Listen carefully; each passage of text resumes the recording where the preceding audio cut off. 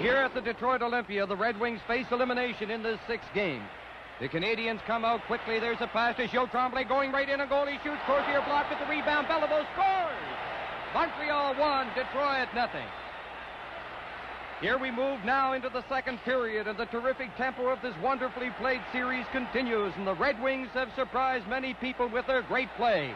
It's Smith cutting in for Detroit, dropping it back to Bathgate. A shot, the rebound right in front, and it's cleared out of the way. J.C. Tremblay back for the Montreal Canadiens. A pass over to Provost going in and goal. And oh, Crozier was brilliant on that one. Detroit firing it out over the boards.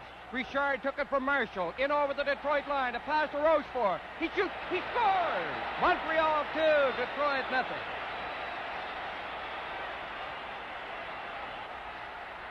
Here come the Red Wings with Gordie Howe. He left it in the corner. Prentice back to Del Vecchio at the point over on this side to Bathgate. Bathgate plays it off the boards. In behind the net goes Howe. He's getting set to pass it back to Del Vecchio. Here it comes. Del Vecchio winds up. He shoots. They score! Ullman tips it in. Montreal 2, Detroit 1. And that's the score as we move into the third period. Provost breaking down for Montreal. He splits the defense going in on goal. Blocked by Crozier who cleared it to Howe. Howe on the right side. A pass out to Prentice. Ahead it goes to Del Vecchio. He shoots. Worsley comes up with a magnificent save. And the action fast and furious. Rochefort to Richard. He's nailed by Marshall. Back to Balon, cutting right in front of goal. And Crozier got it as he slid back in over the goal line. Bergman rounding the net. Stick handling neatly. Out over the line at center, a pass on this side to Ab McDonald. His shot goes to the corner. Rochefort picking it up, losing it to Smith. Smith getting set to McDonald. Back it comes to Bergman. They score! Smith knocking that one in. Montreal 2, Detroit 2. Bryan Watson on the right side, his shot blocked. Canadiens starting out with Richard and Provost.